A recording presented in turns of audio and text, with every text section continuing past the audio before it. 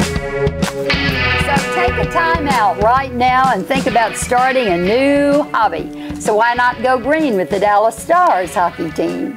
Women are some of their biggest fans, and you can be too. And here to clue us in on why so many folks are hooked on this talented team is their newest broadcaster, best looking broadcaster I've seen. Why, thank you. Miss Allie Lucia. Why, thank you, Suzie. Okay, I'm reading all the things about you, but there's one thing that stood out. Which is? Your dad said, don't become a doctor, go into television. that is amazing. I know. He told me because he thought my personality was better suited for, for broadcasting.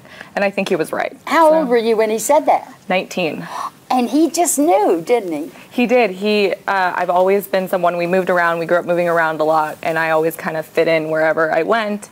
And so he just was like, "Allie, are you sure you want to be a doctor? Are you sure you wanted to go to school for 12 years?" I was like, "I don't think so." So instead, I've you know dated a few doctors instead. That's that's about it. Get that out of your system, yeah. Smart girl, smart girl. So your, your dad's a coach, yes. Okay? And so were you expected to do guy things with him or what? He begged me to play hockey, and I didn't want to play hockey Because you didn't I'm want to lose all your teeth, obviously. I'm and a get lover. punched in the face. well, the it's not a very ladylike sport. Let's No. just be honest. I'm a lover, not a fighter. Yeah. But for being not a very ladylike sport, there is quite the female following of the Dallas Stars. Well, why you- wouldn't there be? Exactly. But what do you think it is about hockey that makes women more excited than, let's say, football or basketball or baseball? Well, I mean, we put on a great show, Yeah. Dallas Stars, and uh, I feel like the the players themselves are easy to get to know, very Mm-hmm. approachable, and very likable.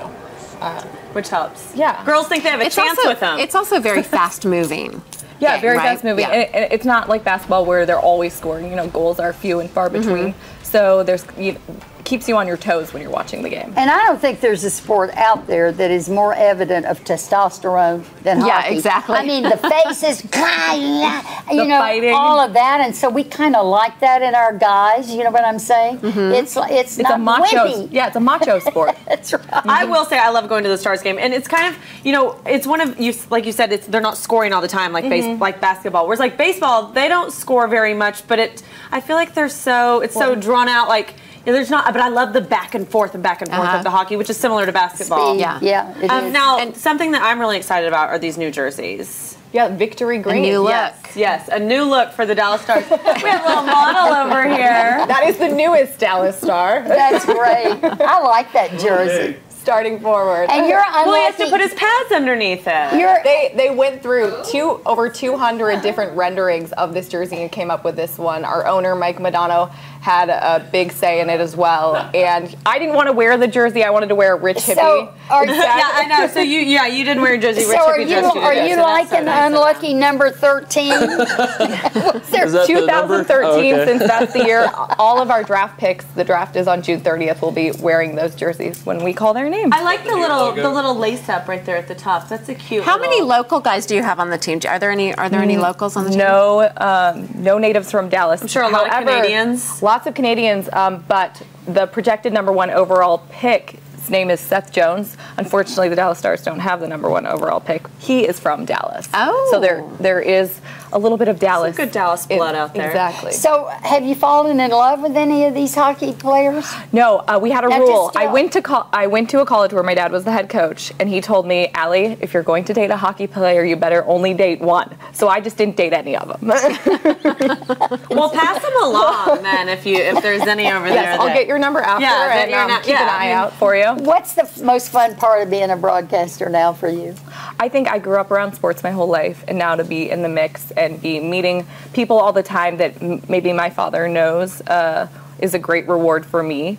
And, And you know the language, so Yes. it's like you're not out there floating around on some with about something that you don't know anything about. Yeah, you're like a catch. I mean, you're gorgeous. You know, know. sports. We're your new matchmakers here, yeah. actually, at the broadcast. help me out, yes. Oh, and um, there's Ralph and Marty Turco. Cute. Yes, we played in a wiffle ball game for the Rangers Foundation a couple weeks ago. That's and great. Ralph made a great catch, and I pretty much um, foul tipped every single ball. I think the umpire was just helping me out a little bit, trying to make sure I actually hit a ball. So you're not very athletic. I was a volleyball player, but I didn't play college sports. I'm the only um, non-college athlete of my family. My brothers play hockey. My sister was But a really you good. report on professional sports, so they Yes. can't So there you complain. my go. brother won a gold medal. I There's my little like brother Mario. him. Oh, how wonderful for Not, USA. not for USA um, under 20 team in Russia last year. oh, that's wow. fantastic. So tell us about season tickets.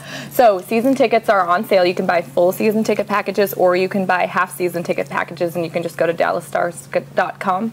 Uh, and they just went on sale, or they're always on sale, but uh, our old season ticket holders had a chance to kind of pick out the new seats for next season. So uh-huh. now, new season ticket hol- holders are more And than welcome. To be. So you'll to do be that. our little kind of correspondent all this next year. So we're expecting to go to some games. Um, yeah, would so- love to I have can't you. wait. I've lived y'all. here for two and a half years, and I've not been to a game yet. You so need I'm to gosh, come. yeah. They're a great to show. one. And You'll to get to more back. details on the Dallas Stars, head to our website and click on today's links.